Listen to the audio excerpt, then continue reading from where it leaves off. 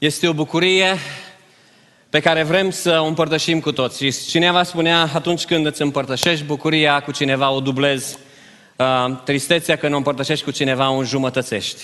Și aș vrea în această seară, cei care sunt bucuroși să poată să-și dubleze bucuria, cei care sunt triști să poate cel puțin să-și înjumătățească tristețea, pentru că Domnul Isus Hristos este prezent în această seară în locul acesta. El este bucuria noastră. Am să citesc din Isaia, din capitolul 9, versetul 6 și 7. Este un um, text pe care îl știm așa de bine. Isaia 9, versetele 6 și 7, unde cuvântul lui Dumnezeu spune așa, Căci un copil ni s-a născut, un fiu ni s-a dat și domnia va fi pe umărul lui. Îl vor numi minunat, sfetnic, Dumnezeu tare, Părintele veșnicilor, Domn al păcii. El va face ca domnia lui să crească și o pace fără sfârșit va da scaunului de domnia lui David și împărăției lui. O va întări și o va sprijini prin judecată și neprihănire de acum și în veci de veci. Iată ce va face râvna Domnului oștirilor. Amin. Crăciunul ne-a găsit din nou împreună și ne invită mai mult decât oricând să privim în urmă la ceea ce s-a întâmplat, să privim înainte la ceea ce se va întâmpla, să privim în sus la realitatea care este și anume că Domnul Isus Hristos este pe tronul ceresc, El șade la dreapta Tatălui. Pentru noi, care suntem în această seară aici, nu e așa că ni se pare că din totdeauna a fost Crăciun. Din totdeauna am sărbătorit nașterea Domnului Isus Hristos. Fie că am sărbătorit-o într-un mod sau altul, fie, care, fie că a fost doar o tradiție, ne-am obișnuit cu această sărbătoare. Ce-ar fi decembrie fără Crăciun? Ce-ar fi decembrie fără să asculți colinzi? La noi în casă, pentru că am, mai ales acum că a venit și mame și tati, am pus colinzi românești și la un moment dat am zis, știi ce, închideți-le, vă rog, puneți alte colinzi. Pentru că atunci când aud colinzile românești, îmi vine să plâng. De ce? Nu pentru că m-aș duce înapoi în România. Vreau să fiu onest. Pentru că mi-aduce aminte de momente petrecute alături de cei dragi. Mi-aduce aminte de tata care nu mai este, care este la Domnul Isus.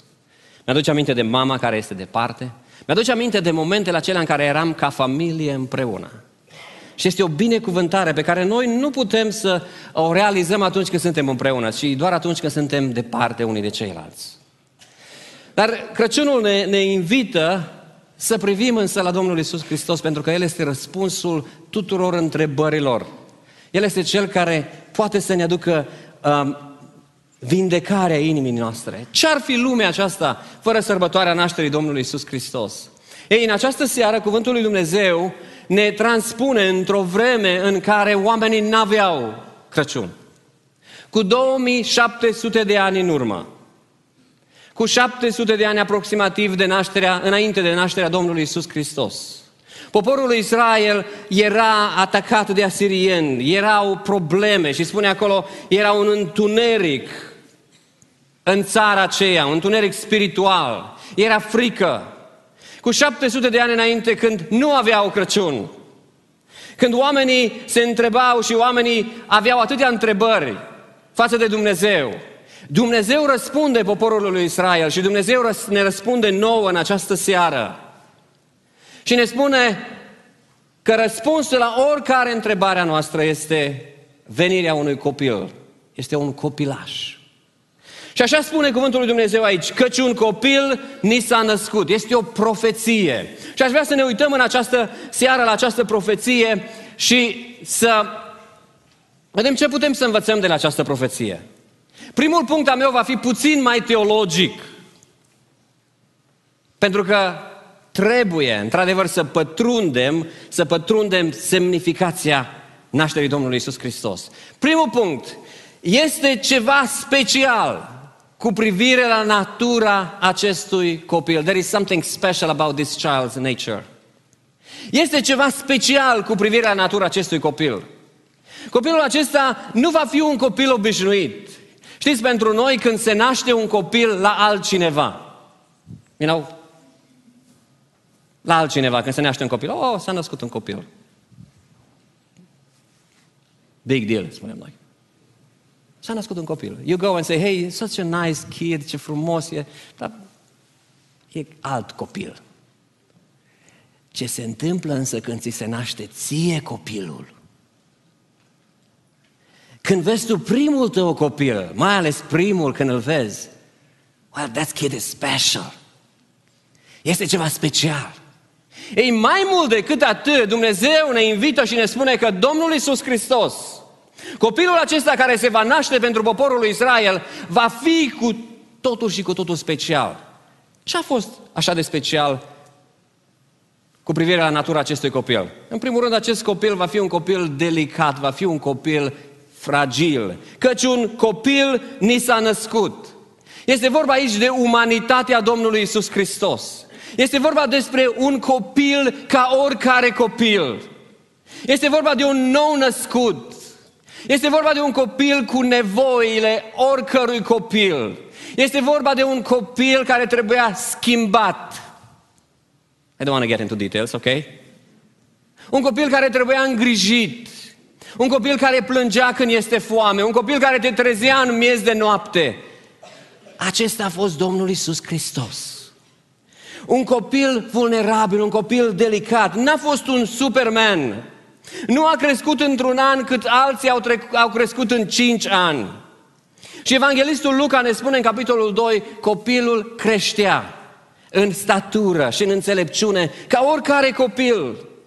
Vedeți, nici măcar n-a făcut minuni înainte de vreme. Sunt unele scrieri apocrife, scrieri care nu fac parte și n-au fost inspirate de Duhul lui Dumnezeu în care spune că Domnul Iisus Hristos când a fost mic se juca cu uh, mad pentru că nu era Play-Doh, nu era plastelină și a făcut niște păsărele și după aceea he clapped, a bătut din palme și au luat zborul păsărelele. Povești. Povești. Copilul acesta a fost un copil delicat, a fost un copil fragil, a fost un om ca mine și ca tine. Și pentru că a fost un om ca mine și ca tine, știu să înțeleagă și știe să, înțele- să înțeleagă pe săraci, deoarece și el a fost sărac. N-a avut nimic. Nimic. Cineva spune, un singur lucru a avut Domnul Isus Hristos, crucea. Pentru că la un moment dat spune Isus ducându-și crucea. N-a avut nimic. N-a avut unde-și pleca capul. A știut să înțeleagă pe cei abandonați, deoarece și el a fost abandonat de atâtea ori de, de către cei cărora i-au, i-au întors spatele. A știut să fie aproape de cei ce au suferit, deoarece și el a suferit cumplit. A știut să fie aproape de cei care au pierdut pe cineva drag și știe să fie aproape de cei care au pierdut pe cineva drag, pentru că și el a plâns la mormântul lui Lazar. Domnul Iisus Hristos în această seară îți spune, știu prin ce treci, știu ce sentimente ai, pentru că și eu am fost ca tine. Căci un copil ni s-a născut, vorbește despre faptul că Domnul Iisus Hristos a fost un om ca mine și ca tine. Copilul acesta a fost delicat, fragil. Copilul acesta, în al doilea rând, a fost divin. A fost Dumnezeu. Spune aici cuvântul lui Dumnezeu, un fiu ni s-a dat. Un fiu ni s-a dat. Asta vorbește despre divinitatea Domnului Isus Hristos. Este un lucru care, îl putem, care nu-l putem înțelege așa de ușor. Este un lucru care ni se pare atât de dificil de explicat și nici măcar nu o să putem să-l explicăm niciodată. Un copil ni s-a născut vorbește despre umanitatea Domnului Isus. Un fiu ni s-a dat vorbește despre divinitatea Domnului Isus Hristos, despre faptul că El este, El este etern, că a existat din totdeauna. Ca și copil s-a născut să trăiască între noi, ca și fiu ni s-a dat ca să moară pentru noi. A venit pe lume ca să sufere. Cineva spunea așa de frumos, marele mister al Ieslei este faptul că Dumnezeu a putut transfera dumnezeirea Lui în umanitate, fără să-și piardă dumnezeirea, și fără să distorsioneze umanitatea. Acesta este marele mister al nașterii Domnului Isus Hristos. El a fost divin. Odată, probabil într-o seară ca aceasta, un bărbat a auzit pe pastor predicând despre faptul că Domnul Iisus Hristos este divin și că s-a născut din fecioară, fără intervenția umană, fără ca fecioara, fără ca femeia să aibă relații cu bărbatul. Și la sfârșitul serviciului divin a venit la pastor și i-a spus că el nu poate să creadă așa ceva. Și a pus următoarea întrebare pastorului. Nu știu cum pot să predici așa ceva, domnule pastor. Dacă ar veni la tine o tânără și ți-ar spune că e însărcinată fără să vei avut relații cu un bărbat și că Duhul Sfânt a umbrit-o, ai crede? I-a spus păstorului. La care păstorul i-a răspuns în felul următor. Dacă nașterea acestui copil ar fi fost profețită cu sute de ani înainte, dacă la nașterea lui ar cânta îngerii, dacă o stea s-ar opri asupra locului unde se naște, dacă acest fiu al ei ar avea putere asupra vântului, asupra mării și furtunii, dacă ar avea putere să vindece și să învieze din morți, dacă ar învia din morți a treia zi și s-ar înălța la cer, dacă ar avea milioane și milioane de urmași, aș crede. Aș crede. De aceea în această seară, noi credem în Domnul Isus Hristos pentru că El a fost unic, binecuvântat să fie numele Lui. Acest copil a fost delicat, acest copil a fost divin și apoi acest copil a fost și este un dar. Căci un copil ni s-a dat. Dumnezeu a dat, Ioan 3 cu 16, fiindcă atât de mult a iubit Dumnezeu lumea că a dat pe singurul lui Fiu. Este darul lui Dumnezeu pentru omenire. Este un dar divin împachetat în umanitate. Vedeți, dumneavoastră, Dumnezeu ne-a dat două daruri, cel puțin, care nu era dator să ni le dea. Două daruri mi-a dat și mie, două daruri ți-a dat și ție, care nu era dator să ni le dea niciunul din noi. Primul dar pe care mi l-a dat și care ți l-a dat a fost viață. Viața asta de 60, 70, 80, 90 de ani, ți-a fost dator să ți-o dea? Nu. N-a fost dator să mi-o dea, n-a fost dator să ți-o dea. Dar viața aceasta se sfârșește. Se va sfârși într-o zi. Și al doilea dar pe care l-a dat Dumnezeu a fost Fiul Său, în care, dragul meu, găsești viață veșnică. Și atunci poate să se sfârșească viața aceasta de 70-80 de ani. Pentru că dacă l-ai acceptat pe Domnul Isus Hristos, ai viață veșnică. Acest Fiu ni s-a dat. Știi ce este trist? Este că acest dar pe care ni l-a dat Dumnezeu nu este revendicat. It's not claimed by so many people. Poți să-ți imaginezi să ai un cadou. I mean, spune-mi sincer, dacă cineva ar veni și ți-ar da un cadou și ți-ar spune, ăsta e un cadou pentru tine. Ok? Ce ai face cu el? L-ai deschide? Of course că l-ai deschide. Eu nu cred că l-ai pune undeva uh, pe un shelf și te-ai uitat tot timpul la Mă, ce frumos cadou e ăsta. What a beautiful gift. Ce ambalaj frumos, dar uite ce frumos este, ce, ce, ce bine este. Nu, nu, nu. De-abia ai aștepta să meargă cel care ți l-a făcut cadou. Să-l deschizi repede și să te uiți să vezi, wow, what a cheap skate. No? Let me tell you something.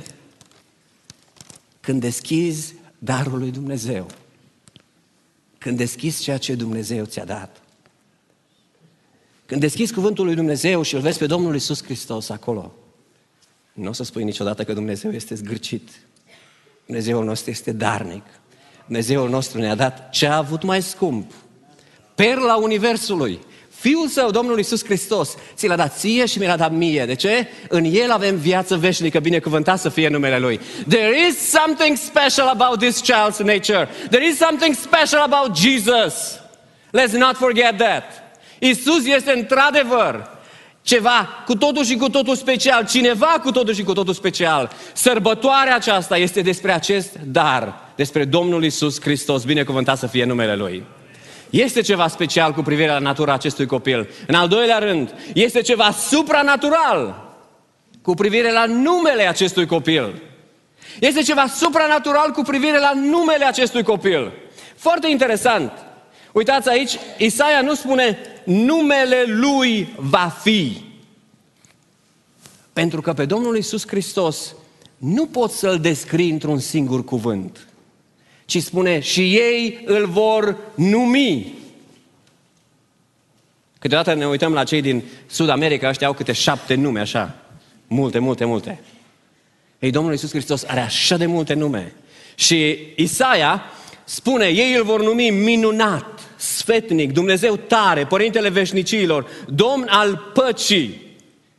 Nu există un cuvânt care poate să le scrie în întregime pe Domnul Isus Hristos. Așa cum Dumnezeu Tatăl are multe nume în Scriptură și n-aș vrea să le înșirui aici, Domnul Isus Hristos are atâtea nume și aici, apost- și aici Isaia ne spune câteva nume și cum putem să beneficiem de ceea ce este scris în acest nume. Și haideți să examinăm aceste nume pe care Isaia ni le dă și să vedem cum ne putem identifica, cum ne putem relata la numele acestea. Primul nume pe care este aici este minunat. Pentru cel dezinteresat. El este minunat. Pentru cel dezinteresat. Vedeți, unicitatea Domnului Isus Hristos ar trebui să ne captiveze întotdeauna. Oamenii care își caută o scuză să nu vină la biserică, ne spun, cum puteți voi să mergeți duminică de duminică? Bancă și dimineața și seara. Și să auziți mereu aceeași persoană predicându-vă și să ascultați aceleași lucruri din cuvântul lui Dumnezeu. Cum puteți să faceți lucruri? Nu-i boring? Și voi spuneți, it's boring, but I'm not supposed to say that. No. It's not boring. Why? Suntem aici pentru că îl iubim pe Domnul Isus Hristos. Suntem aici pentru că El este minunat. Suntem aici pentru că părtășia cu frații este minunată. Suntem aici pentru că nu ne săturăm să-L auzim, să-L privim, nu ne săturăm să citim despre El. De aceea, frați și surori, prieteni, tineri, eu nu înțeleg cum poate să fie cineva plictisit în prezența Domnului Isus Hristos. You cannot be bored in His presence. Because He is wonderful. His name is wonderful. Mergem mai departe. Pentru cel dezorientat, El este sfetnic. Pentru cel dezorientat, el este sfetnic, este counselor. Sfetnicul este cel care ne sfătuiește, cel care ne dă direcție, care ne dă călăuzire, cel care ne poate da un sfat bun. El, Domnul Iisus Hristos, care a spus despre El, eu sunt calea, adevărul și viața, are un mesaj pentru mine și pentru tine. Dacă ești dezorientat, dacă acum de Crăciunul acesta, de sărbătorile acestea, nu știi în ce parte să o apuci, dacă ești la răscruce de drumuri, dacă vrei o informație, dacă vrei un sfat, nu o informație, pentru că suntem bombardați cu tot felul de informații, Domnul Isus Hristos ne oferă cuvântul vieții. Ceilalți counselors, ceilalți sfetnici îți dau opinia lor. Domnul Isus Hristos îți spune adevărul, binecuvântat să fie numele Lui. Și adevărul întotdeauna ne face liberi. Adevărul întotdeauna ne dă direcția cea bună. De aceea, când ne uităm în Cuvântul lui Dumnezeu și vedem că numele Lui este sfetnic, dragul meu, orice întrebare pe care o ai, adu-o la Domnul Isus Hristos. El este Cel care îți va da un sfat bun. Mergem mai departe, pentru cel decăzut, El este Dumnezeu tare. Pentru cel decăzut, El este Dumnezeu tare. Ori vrem să recunoaștem, ori nu. Problema cea mare a omenirii este păcatul. Problema cea mare a fiecărui om este tirania păcatului. Cum vom scăpa de păcat? Cum vom putea să facem fața atacurilor lui satana care ne atacă în fiecare zi? Ne vom putea feri de probleme? Cum voi putea să ajung în cer și nu în iad. Sunt atât de căzut. Satana și-a bătut joc de mine. Poate cu prilejul acestor sărbători te uiți la tine și satana ți-a spus, uite-te la tine. De ce mai vii la biserică? Nici nu are rost să mai vii la biserică. Tu știi ce păcate ai. Tu știi că ești un om cu două fețe, că vii la biserică și la biserică ești cel mai sfânt, dar acolo acasă, în, în camera ta sau în locul în care tu te duci, viața ta este atât de murdară.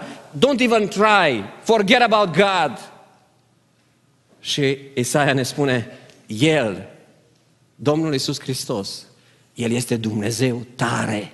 Și dacă este tare, El poate să te ridice din cea mai mare mocirlă, din locul cel mai de jos în care ai căzut. Și în această seară, în aceste zile, Domnul Iisus Hristos vrea să facă lucrul acesta pentru tine. Pentru că de aceea a venit să moară pentru mine, să moară pentru tine, să ne scoată din întunericul păcatului.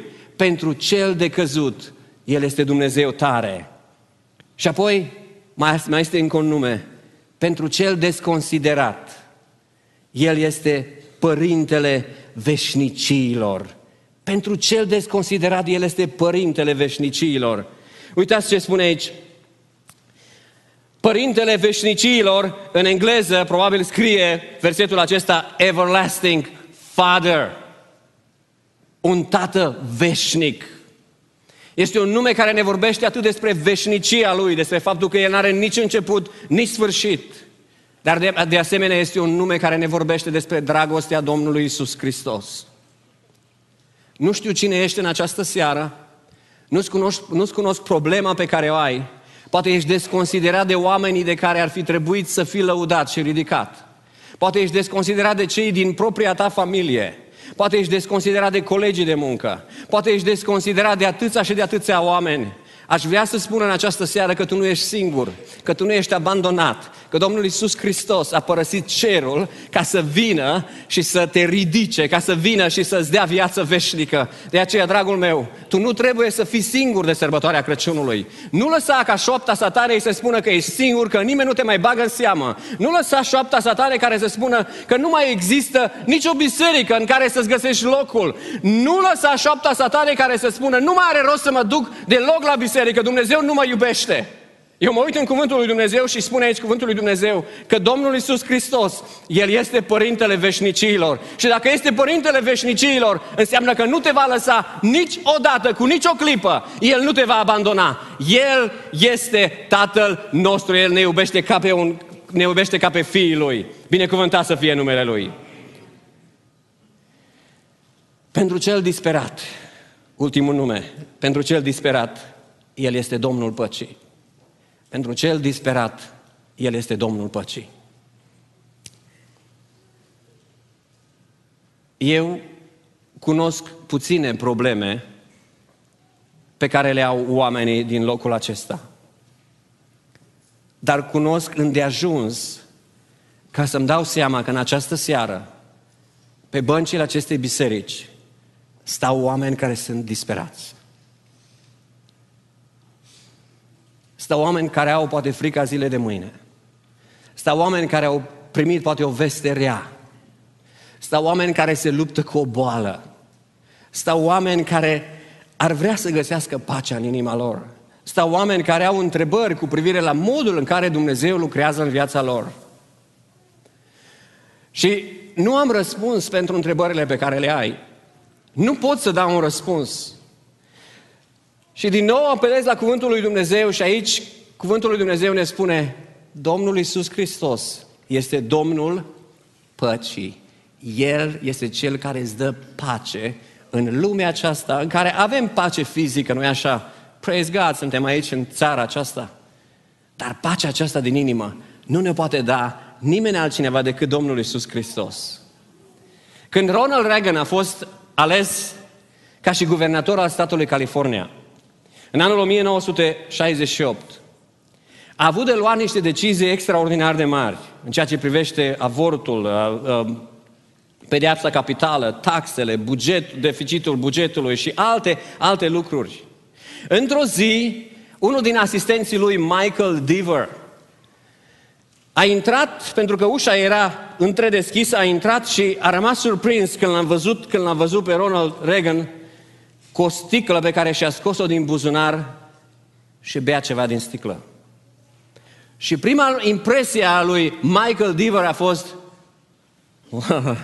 guvernatorul nostru trage câte un pic de whisky.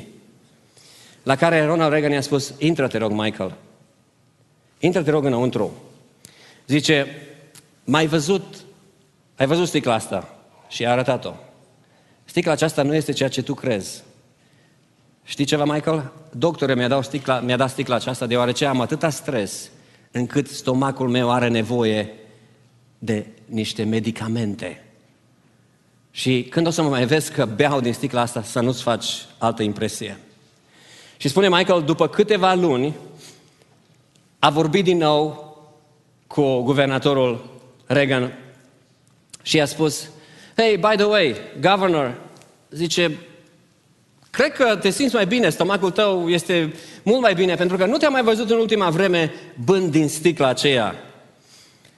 La care Ronald Reagan i-a spus următorul lucru, Mike, când lucrurile au mers așa de rău cu câteva luni în urmă, I kept looking over my shoulder for answers. Mă uitam în jurul meu, în stânga și în dreapta, pentru răspuns. Zice, în loc să mă uit în sus, pentru că de acolo îmi venea răspunsul pentru problemele mele. Și Ronald Reagan a știut că răspunsul la problemele lui, la stresul lui, la stomacul lui, răspunsul vine de la Domnul Isus Hristos. Pentru cel disperat, Domnul Isus Hristos este Domnul păcii și El poate să-ți dea pace în această seară. Nu trebuie să apelezi la niciun fel de sticluță.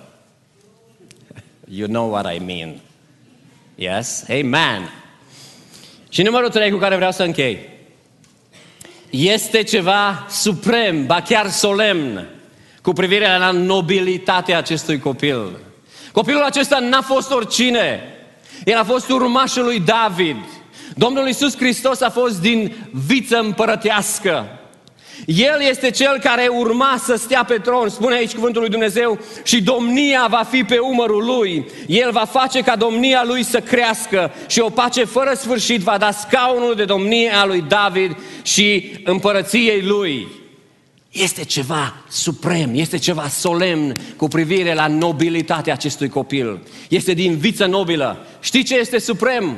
Într-o zi, dragul meu, într-o zi, Domnul Iisus Hristos se va întoarce pe pământul acesta de pe care a plecat. Amen? Privim înainte și așteptăm cu drag, așteptăm cu nerăbdare ziua în care acest copil, care nu mai este copil, se va coborâ din nou ca și rege, ca biruitor, nu neajutorat, ci plin de putere. Acest lucru îl așteptăm cu atâta bucurie, pentru că credem în El. De aceea am crezut în El. Vă aduceți aminte când s-a ridicat la cer, niște îngeri au spus, bărbați galileeni, de ce vă uitați și la cer? De ce stați și vă uitați la cer? Acest Iisus care s-a înălțat la cer din mijlocul vostru va veni în același fel cum l-ați văzut mergând la cruce. Într-o zi se va întoarce pe pământ. Și aș vrea să te întreb în această seară, ești gata? Ești gata pentru întoarcerea Lui? Ești gata să-L primești? Ești pregătit să-L întâlnești? Nu prin faptele tale, așa cum fratele Dani spunea, nu prin faptele mele. Mai mult, ai făcut pace cu acest rege? L-ai acceptat? Ai acceptat domnia lui? Is he your king? Este el regele tău? Pentru că, dragul meu, mai mult decât atât, el nu numai că se va întoarce pe pământ, el va împărăți pe pământ. El va face ca domnia lui să crească și o pace fără sfârșit va da scaunului de domnie a lui David. Noi îl așteptăm, așteptăm ziua aceea. Ne va duce la cer, apoi va veni pe pământ și va împărăți pe pământ. Cel puțin pentru o mie de ani, pentru ca să se împlinească toate profețiile pe care le-a făcut poporul lui Israel. Acesta este copilul despre care profetul Isaia a vorbit și a profețit. Toate profețiile cu privire la el se vor împlini.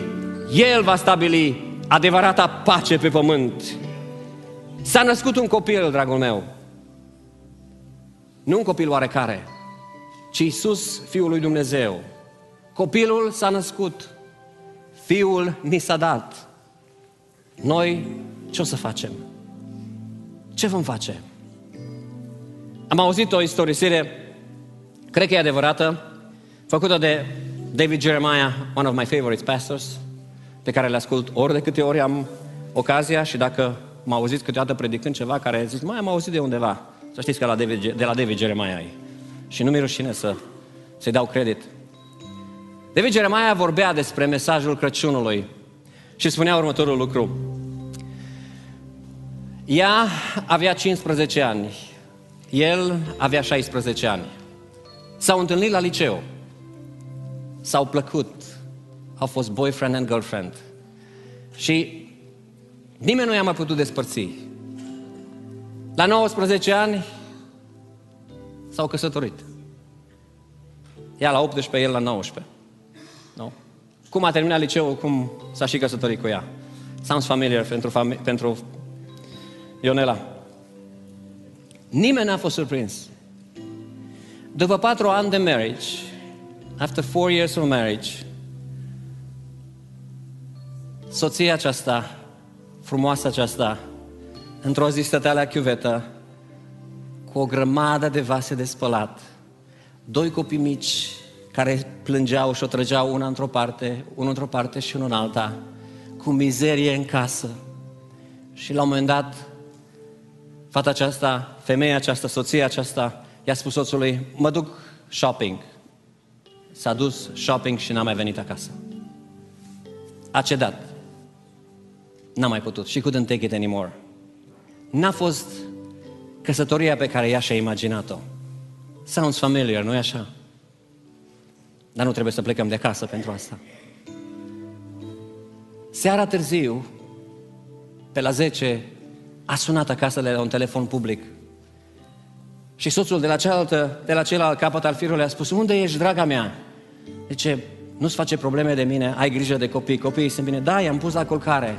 Dar tu unde ești? Nu vii acasă? Și i-a, i-a închis. A trecut o săptămână, soțul n-a mai auzit nimic de ea. Peste o săptămână a sunat din nou femeia, iarăși de la un telefon public, n-a știut de unde sună, la care a întrebat, copiii sunt bine? Da, draga mea, copiii sunt bine, dar tu unde ești? Spune-mi, vino acasă, noi te iubim. La care i-a închis din nou. A urmat două luni în care s-a repetat mereu același lucru. Ea în fiecare săptămână suna să vadă dacă sunt copiii bine. Și apoi închidea. La un moment dat, soțul, pentru că a iubit-o și o iubea mult, a angajat, hired, un detectiv. Și detectivul a găsit-o. Și a spus soțului, uite, este la adresa cu tare. Aici este adresa.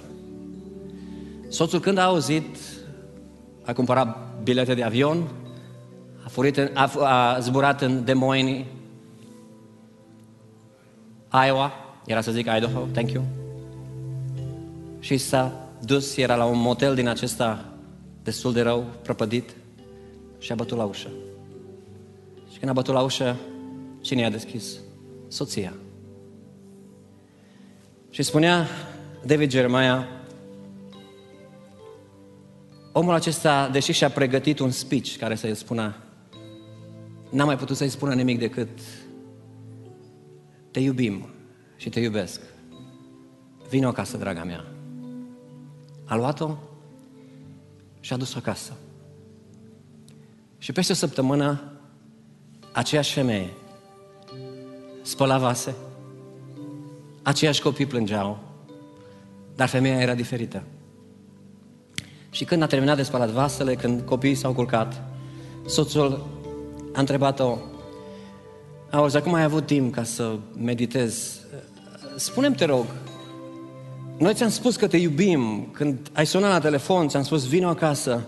De ce n-ai venit? Și ea a spus, știi, dragul meu, când am vorbit la telefon, tot ceea ce tu mi-ai spus au fost vorbe. Just words. When you showed up at my door, you came to me. You came for me. Ai venit tu în persoană să mă duci acasă. Care este morala acestei ilustrații?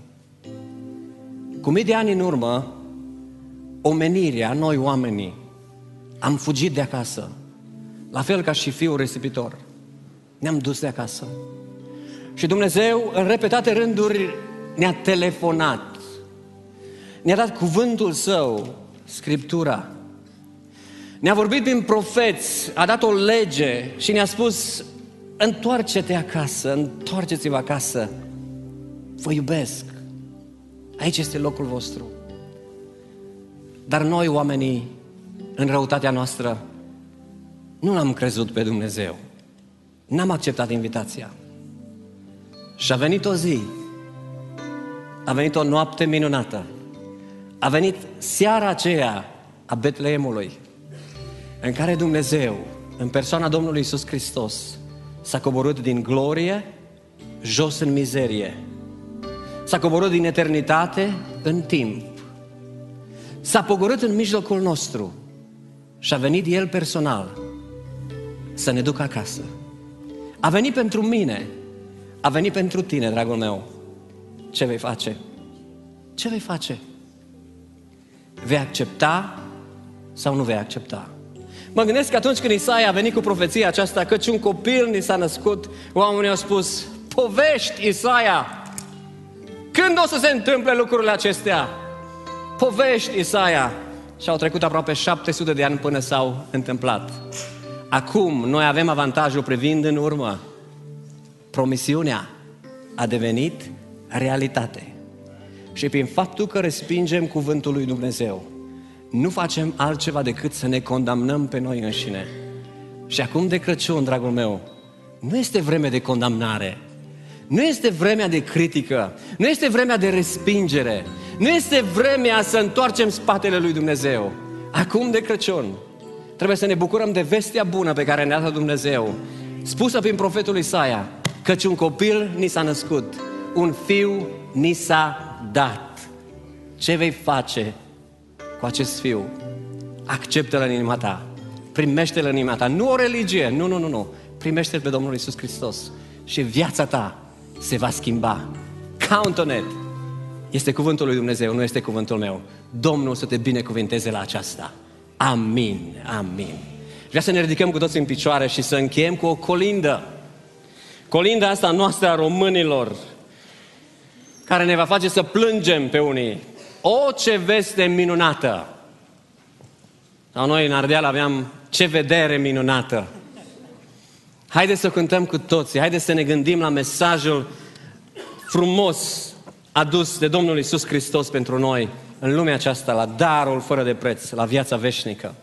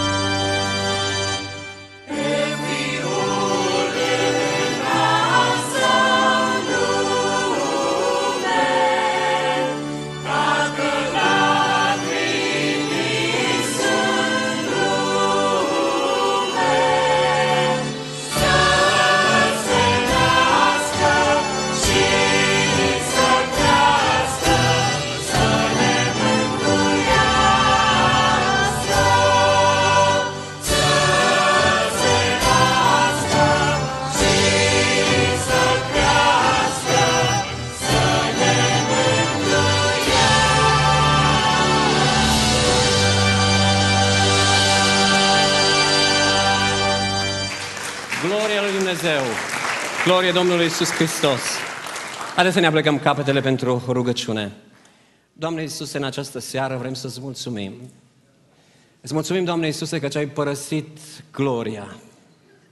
Ai părăsit locul pe care l-ai avut acolo lângă Tatăl Ceresc și ai venit în lumea noastră.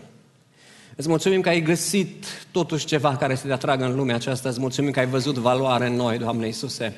Și îți mulțumesc în această seară că putem să stăm aici, în locul acesta, datorită dragostei tale. În această seară îți mulțumim pentru jertfa ta de pe Golgota. Îți mulțumim, Doamne Iisuse, că ce-ai găsit cu cale să vii pe pământ, să fii tu om pentru a ne aduce pe noi acolo lângă tine, lângă Dumnezeu Tatăl și îți mulțumim pentru lucrul acesta. Mă rog în această seară, Doamne, și îți mulțumesc pentru tot ceea ce a avut loc aici, Doamne, în locașul acesta. Îți mulțumesc pentru cântarea de laudă, Doamne. Îți mulțumesc pentru rugăciunea ascultată, Doamne. Îți mulțumesc pentru inimi deschise, Doamne. Îți mulțumesc, Doamne, pentru gânduri bune, Doamne. Îți mulțumesc pentru bucuria ce ai adus-o, Doamne. Îți mulțumesc pentru mângâierea ce ai adus-o în sufletele noastre. Îți mulțumesc pentru cuvântul Tău, Doamne. Și mă rog în această seară, Doamne, ca fiecare să beneficiem de pe urma acestui cuvânt. Acolo unde este nevoie de mântuire, te rog, dă Tu mântuire, Doamne. Adu viață veșnică, Doamne. Adu lumină spirituală, Doamne. Acolo unde este nevoie de vindecare, Doamne, te rog, dă vindecare în numele Domnului Isus Hristos. Acolo unde este nevoie de mângăiere, Doamne, adu mângăiere, Doamne. Acolo unde este nevoie de ridicare, adu ridicare, Doamne. Acolo unde este nevoie de înviorare, Doamne, adu înviorare. Și acolo unde este nevoie, Doamne, de bucurie, dă bucurie, Doamne, pentru că este sezonul bucuriei, Doamne. Și știm că numai Tu poți să ne dai bucuria nespusă. Îți mulțumesc în seara aceasta, îți mulțumesc pentru fiecare suflet care a pășit pragul casei Tale, Doamne. Și mă rog pentru ei, Doamne, mă rog, Doamne, pentru fiecare în parte, pentru fiecare familie, Doamne, binecuvântă-i, Doamne, fi cu ei, Doamne, nu numai cu prilejul acestor sărbători, ci, Doamne, pe toată viața lor și mai mult decât orice, călăuzește-i Tu și fii Tu bucuria vieților lor. Îți mulțumesc, Doamne, îți mulțumesc pentru bucatele pe care, Doamne, o, din care o să mâncăm, îți mulțumesc pentru cei care s-au trudit să le facă, Doamne, îți mulțumesc pentru slujirea lor, îți mulțumesc pentru slujirea întreagă din această seară. Doamne, numele Tău merită să fie înălțat și am venit în această seară să-ți aducem o jerfă și te binecuvântăm pentru toate. În numele Domnului Isus Hristos. Amin.